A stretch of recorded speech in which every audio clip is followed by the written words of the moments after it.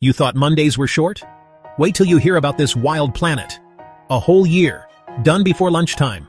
Meet WASP-12b, the ultimate cosmic speedster. While Earth takes 365 days to orbit the Sun, WASP-12b races around its star in just 8 hours. That's like celebrating New Year's, breakfast, lunch, and dinner, all before your phone finishes charging. Why so fast? WASP-12b is super close to its star, so close its clouds might actually be made of vaporized metals. The planet's gravity is getting stretched like pizza dough, and scientists think it's being ripped apart. Talk about a rough day, huh?